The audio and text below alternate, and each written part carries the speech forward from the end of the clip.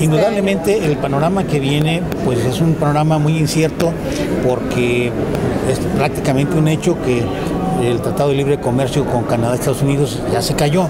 No creo que se vaya a sostener, eh, pero está eh, lo que es la Organización Mundial del Comercio, en donde los eh, parámetros son muy similares. Y México, le pongo un caso de una sola empresa, ¿verdad? una empresa que hace cajas de velocidades en Irapuato. Esa, esa planta manda a 12 países diferentes esas cajas de velocidades. Sí se mandan a Estados Unidos, pero quedan 11 países a los cuales se puede exportar.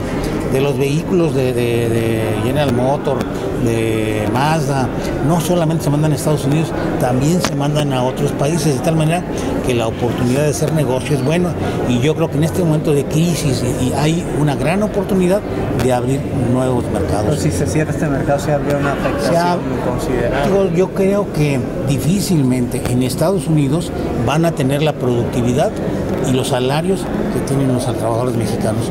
Los salarios mexicanos son más bajos que los de Estados Unidos y la productividad es mucho mayor que la de Estados Unidos. Los trabajadores mexicanos son mejores en capacidad y en calidad.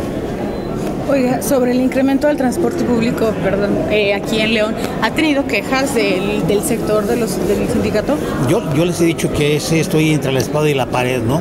Porque los trabajadores también están sindicalizados del transporte y también ellos tenían bastante tiempo solicitando un incremento salarial porque ellos van por porcentaje de, los boletos vendidos y entonces, este, pues no, no quiero hablar tampoco en contra de los trabajadores. Pero ¿qué opinión le merece que eh, específicamente Fernando García Murguía eh, concentre el 51% de las concesiones del sistema de movilidad y pues que es un beneficio de los trabajadores? Es, eh, es, lo mismo, o sea, volvemos al tema de la otra parte la tiene flecha amarilla y flecha amarilla es más grandota. Este, lamentablemente estamos en un estado de libre comercio en donde lo que nos importa a nosotros es que haya fuentes de trabajo. Yo no quiero atacar a ninguna empresa porque las empresas son de alguna manera lo que las, que dan las fuentes de trabajo. Al contrario, qué bueno que haya empresas grandes y empresas fuertes y que generen empleos.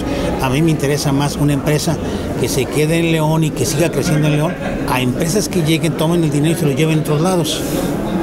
En el caso General Motors, ustedes tienen ese contrato colectivo. tenemos ¿Hay alguna noticia de la empresa de vaya a afectar su producción? No, no hay ningún aviso por parte de la planta de bajar la producción, de recorte de personal.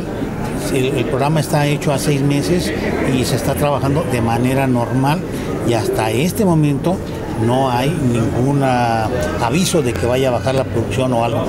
Eh, en el caso concreto de la planta de, Silao, es una planta que produce puras camionetas pick-up de todos los modelos y ese, esos modelos no se producen en Estados Unidos, de tal manera que eh, seguramente esto va, va a hacer que se siga exportando este tipo de vehículos y si se cae el Tratado de Comercio, pues a lo mejor van a tener un impuesto del 2,5%, que es lo que marca la Organización Mundial del Comercio.